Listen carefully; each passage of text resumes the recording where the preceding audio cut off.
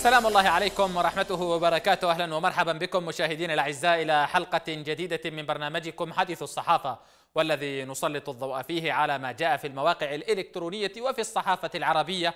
ونستعرض بعضا من مقالات الرأي والتحليل ومنشورات ناشطين على وسائل التواصل الاجتماعي فيسبوك وتويتر والبداية من عناوين الموقع اليمني المصدر أونلاين.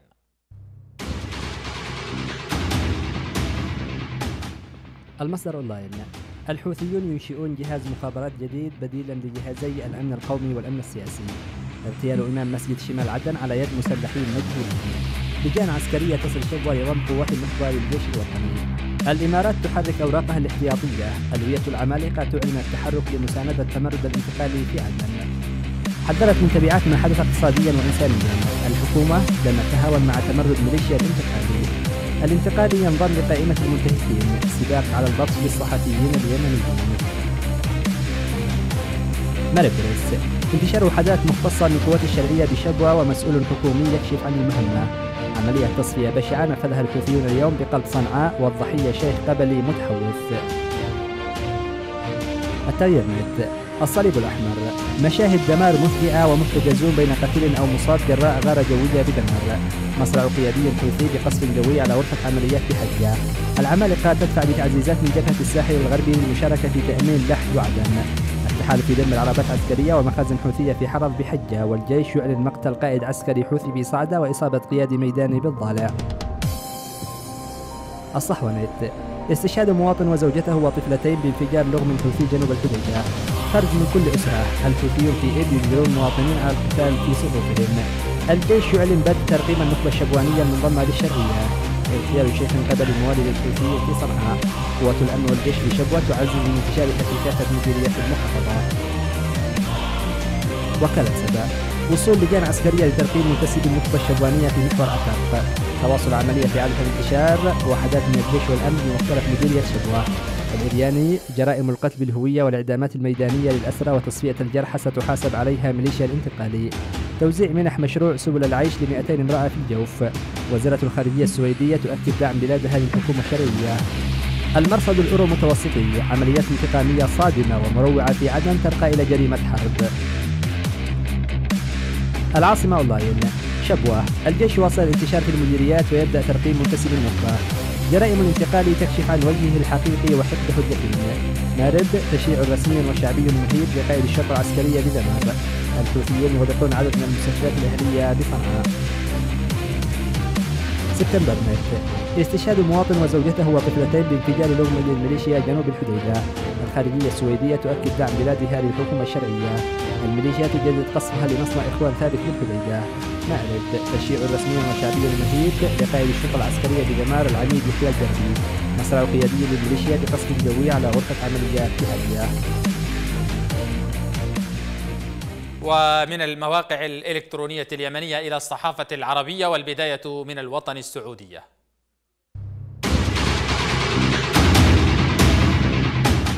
الوطن السعودية. الحكومة اليمنية تثمن دعم المملكة والجيش يتقدم في صعدة وحجة بيانات تصعيد يؤزمان علاقة اليمن والإمارات على خلفية أحداث عدن. الشرق الأوسط. مركز الملك سلمان يعالج المصابين اليمنيين في أحداث عدن وأدين. أطلق مبادرة استجابة للتخفيف من معاناتهم وتقديم المساعدات العاجلة لهم. العربية جهاز قانوني حوثي جديد وتغيير في مؤسسات الدولة.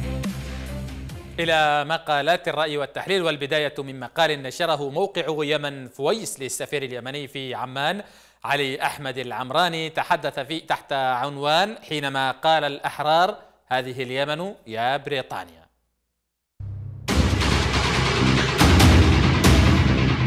الحركة الانفصالية عنصرية بطبعها وهي في حالة اليمن عنصرية بدائية متخلفة. وقد تكون متوحشة وهي عنصرية لأنها تنطلق من فكرة رفض العيش مع مواطنين آخرين تحت سقف وطن واحد.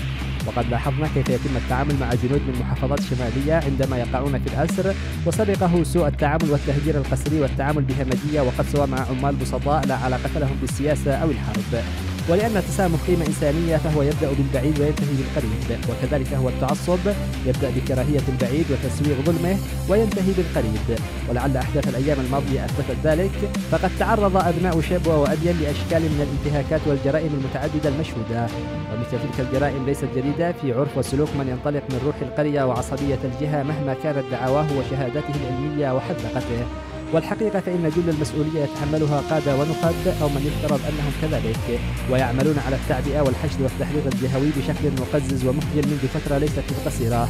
ومجرد سكوت تلك النقاب على تلك الأقوال والأفعال الشائنة يعد جرما وعرا. رأيتم كيف يعلقون على مخالفيهم؟ والغريب أن من أولئك المتعصبين والمحرضين على الانفصالية والعصبية الجهوية من يعيش في بلدان تعمل على ترسيخ التسامح بين المواطنين من أديان وألوان وأجناس مختلفة وينعمون بذلك التسامح. لكن القروية بقيت مؤششة في تفكير وسلوك ومنطق بعض أصحابنا ولم يهزمهم العيش في أمريكا وحمل جنسيتها.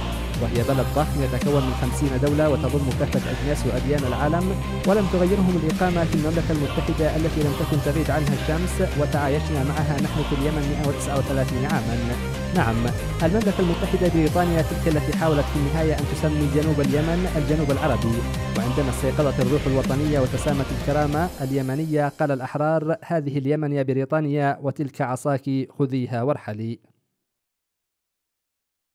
موقع الصحوانت نشر مقالا للكاتب القيادي في حزب التجمع اليمني للإصلاح في محافظة تعز أحمد المقرمي تحدث فيه عن من يحملون ما تحدث ما عن من يحملون حزب الإصلاح ما تؤول إليه الأمور مستخدما مثلا شعبيا.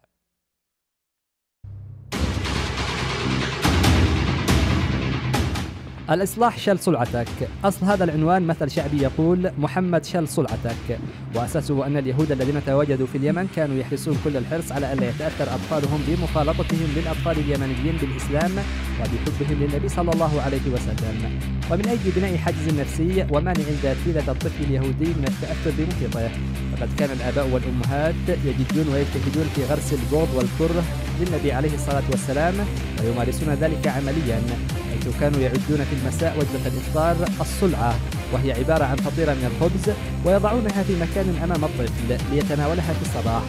فإذا جاء الصبح يذهب الطفل إلى المكان الذي وضعت فيه الصلعة ليتناول إفطاره في المكان فلا يجدها فيبكي ويشتكي ويتذمر. فيكون رد أهل بيته محمد شل صلعتك حتى إذا ما اشتد الجوع بالطفل يأتونه بالصلعة قائلين له ها هو ذا موسى قد أخذ منه وأعادها لك. فينشأ الطفل منهم وقد ملئ تعبئة وكراهية وغرس في نفسه كره محمد والمسلمين. هذا المكر البائس والكذب المكشوف والوسيلة الدنيئة الرخيصة. استعارها كثيرون. ليس أفراد فحسب ولكن هيئات وصحف وقنوات وساسة وربما أحزاب وتنظيمات. في محاولاتهم البائسة والهابطة لرسم صورة ذهنية عن الإصلاح بما يتولدونها من قصص كاذبة وحكايات مختلفة ومفترى عن الإصلاح بهدف تشويهه وتجريده من محاسنه وإنكار مواقفه. وإلصاق بل اختلاق شتى التهم حوله على قاعدة اليهود محمد شل صلعتك إذ يمضي هؤلاء وأولئك ينشرون ثقافة الكراهية فيكذبون ويحرضون على نفس تلك الطريقة الإصلاح شل صلعتك والحق تقول هذه السطور أن تلك الإشاعات الكاذبة والدعايات المغرضة كان لها تأثير إلى حد ما في بداية الأمر فلما كثرت بثرت. أو كما يقول المثل من كثر هداره قل مقداره. فأعطت تلك الإشاعات من ناحية مناعة وصلابة لكل أعضاء الإصلاح ضد أي إشاعة وخلقت إصرارا وثباتا لدى كافة منتسبيه ومؤيديه كما قدمت من ناحية أخرى خدمة للإصلاح بتسويقه داخليا وخارجيا بإثارة فضول الناس هنا وهناك للسعي والبحث في معرفة حقيقة هذا الحزب المدني الذي يأخذ صلع المغفلين. ينتهي البحث بالمنصفين والمثقفين وكل الأحرار إلى أن الإصلاح حزب مدني ينتشر في كل ميادين المؤسسات المدنية بما أولئك شغلهم الشاغل عرض ضاعة المفلسين وغرس ثقافة الكراهية وغرق صباحا ومساء في ترداد الإصلاح. شل صلعتك إلى الصحافة الجديدة والبداية من فيسبوك حيث يطالعنا منشور للكاتب عبد الخالق عطشان تحدث فيه عن جبهة نهم والإمارات.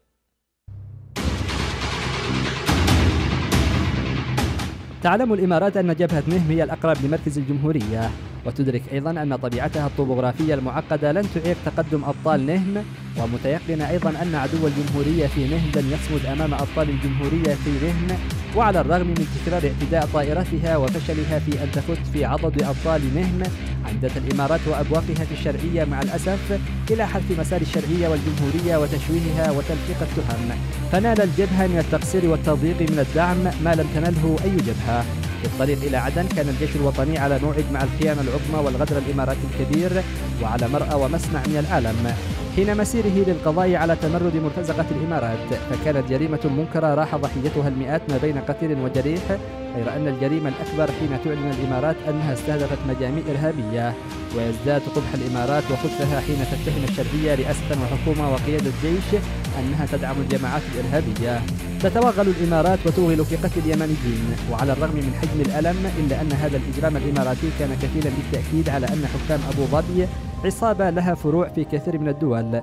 تنفذ كثير من الجرائم ولو لم يكن من الغدر بالجيش الوطني في نقطة العالم إلا تبرئة الجيش الوطني عموما وجبهة نهم خصوصا من تهم الإمارات وأبواقها في الشرعية لكان ذلك كافيا. يحيى الثلايا كتب منشورا على صفحته في الفيسبوك تحدث فيه عن تمايز الصفوف وظهور كثير من الملفات المعقدة. ليحيى من حي عن بينة ويهلك من هلك عن بينة تمايز وانكشافات مهولة في تعقيدات المعركة التي تشهدها اليمن منذ خمسة أعوام. كثير من الملفات التي كانت تدار وتتصارع خلف الكواليس خرجت مؤخرا للعلن بشكل بدا غريبا وغير متوقعا لدى البعض. الله اليمن الجمهورية. هذا شعارنا وهتافنا وخطنا الواضح في المعركة منذ أول شرارة أطلقها المتمرد الأول وحتى آخر صيحة لمن تمرد بعده. اليمن أولا وثانيا وثالثا. نعادي من عاداها ونحترم من نصرها. ونشكر بوفاء وامتنان يماني من وقفوا معنا بصدق ساعة احتاجت إليهم اليمن. ولليمن دولة وقيادة شرعية تعبر عنها وتمثلها أمام العالم. وهذه القيادة هي من تحدد الحليف والعدو. في ميدان الحرب هدفنا اليمن وفي ساحات السياسة والتحالفات الإقليمية والدولية قضيتنا اليمن. ولكل ميدان أدوات حرب ومناورة. رسالة إخواننا الذين أوغلوا في التطرف والمكايدات الداخلية حد البيع والارتهان نكاية بهذه أو بشماعة الإصلاح وغيرها من الأوراق المزيفة والحبال القصيرة لا زالت أمامكم فرصة للعقل والعودة.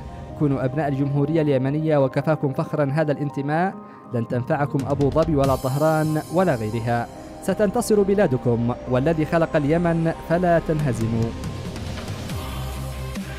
البراء شيبان كتب منشورا تحدث فيه عن اليمن والأحداث التي تمر بها.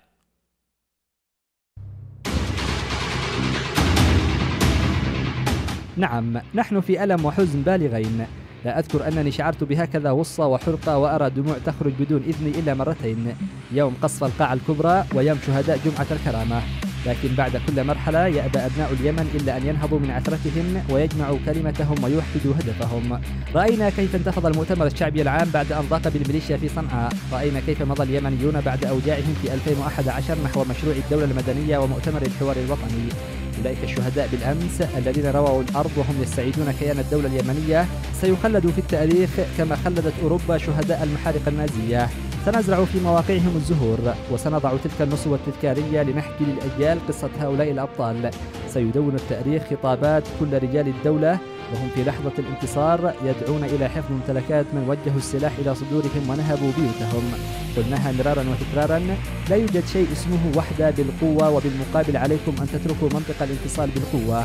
الكاميرات حاضرة والإرشيف موجود. إن كان رجال الدولة فتحوا أيديهم لهذا المجلس بينما قيادة هذا المشروع المناطقي لم تتوقف لحظة عن التحريض المناطقي الرخيص ودعوات الاجتثاث والقتل. رأينا جميعا كيف احتفوا أهلنا في شبوة وعدا وأبين بل وحتى في صنعاء بعودة الدولة لأنها الملاذ الآمن لنا جميعا. الانتصار هو أن تمتلك القيمة الأخلاقية وأن تكون صاحب مشروع يستوعب الجميع وينهض بالجميع ويتسع للجميع. واسألوا أوروبا كيف دعمت ألمانيا لتجعلها تنهض بعد نكستها. اسألوا اليابان كيف خرجت من محنتها العالم مليء بالدروس وعلينا فقط أن نتعلم أما أولئك الذين يشحنوا قلوب أتباعهم بالأحقاد والعنصرية فلن ترويهم ولا كل دماء الأرض. إلى كل نساء اليمن ورجاله إلى أمهاتنا. أمهات المعتقلين في سجون الظلم في شمال الوطن وجنوبه إلى أبناء الشهداء في كل مكان إلى دعاة الحرية نعاهدكم أننا لم وننسى ما وعدناكم فيه. وعدنا يوم اختتام مؤتمر الحوار الوطني.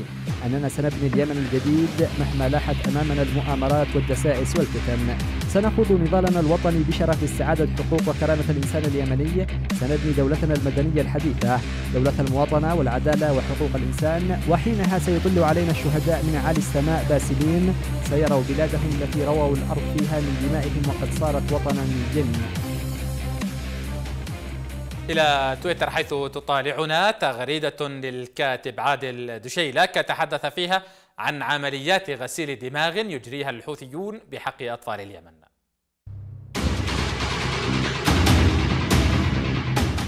يقوم الحوثيون بعمليات إفك يومية ممنهجة وبغسيل مخ جماعي لأطفالنا في مراكزهم السرية والصيفية تحت مسمى تعليم القرآن وعلوم آل البيت. لابد من مواجهة الجرائم التي يقوم بها بحق جيلنا فهذه الثقافة التي يغرسونها في عقول أطفالنا سيكون من الصعب التغلب عليها في المستقبل المنظور. عبد الباسط الشاجع كتب تغريدة على صفحته في تويتر تحدث فيها عن أن الحوثيين يتخلصون من أتباعهم الذين انتهت فترة صلاحيتهم.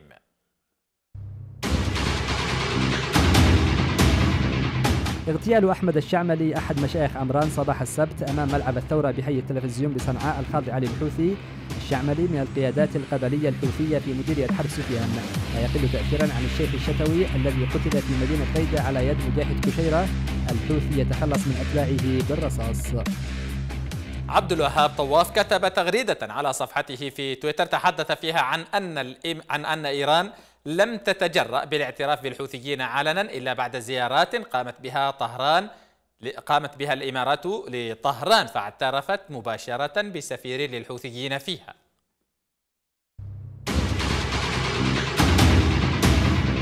خمسة أعوام لم تتجرأ إيران بالاعتراف بالحوثيين علنا. وتقبل بسفيرا لهم إلا بعد زيارات الإماراتيين إلى طهران مؤخرا وبعد أن تأكدوا أن أبو ظبي تقوم بالواجب بدلا عنها في اليمن. وضح الجليل كتب تغريدة على صفحته في تويتر تحدث فيها عن ابتزاز ما يسمى بالمجلس الانتقالي.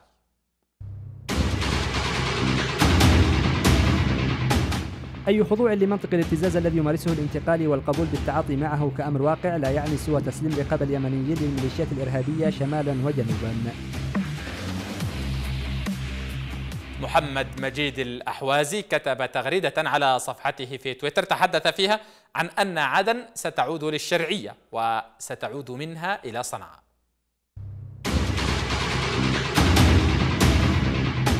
كانت الشرعية اليمنية تتجهز عسكريا وسياسيا وإعلاميا وأمنيا لدخول صنعاء بعد الانتهاء من انقلاب عدن. ولكن الهجوم الغادر على قوات الشرعية عطلت سير الأحداث. أعتقد ستعود الشرعية قريبا إلى عدن وسنحتفل جميعا في المعاشيق بعدن من ثم صنعاء. بهذا نكون قد وصلنا وإياكم إلى ختام حلقتنا لهذا اليوم. وحتى الملتقى أستودعكم الله.